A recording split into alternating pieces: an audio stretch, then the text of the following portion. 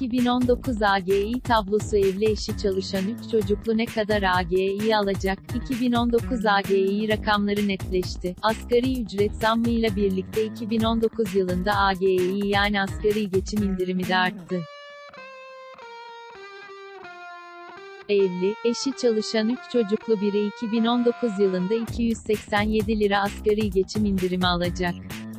AGİ 2019 yılında yeni asgari ücret ve işsizlik maaşıyla birlikte zamlanıyor. 2019 yılı için asgari ücret brüt 2558 lira, net 2020 lira olarak belirlendi. Asgari ücret 417 liralık zamla geçen yıla oranla %26,05 artmış oldu.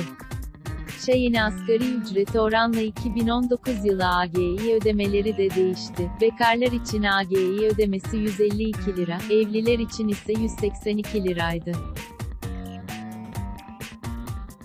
Asgari ücret brüt 2558 lira olunca, AGİ en düşük tutarı 191 TL 85 kuruş en yüksek tutar 326 TL 15 kuruş oldu.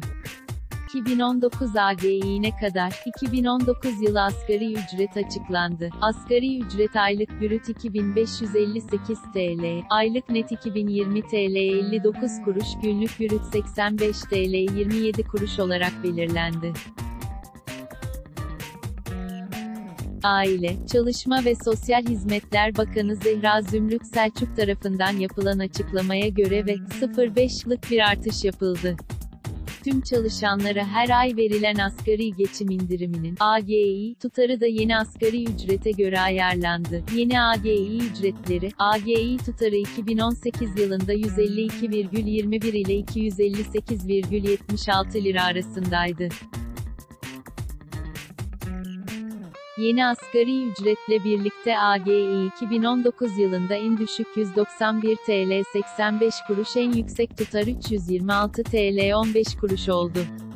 İşte tüm çalışanların 2019 yılı AGİ ödemeleri, bekar 191.85 evli eşi çalışmayan 230.22 evli eşi çalışmayan bir çocuklu 259 til evli eşi çalışmayan 2 çocuklu 287,78 til evli eşi çalışmayan 3 çocuklu 326 TL 15 kuruş evli eşi çalışmayan 4 çocuklu 326,15 til evli eşi çalışmayan 5 çocuklu 326,15 til evli eşi çalışan 100 191,85 til evli eşi çalışan.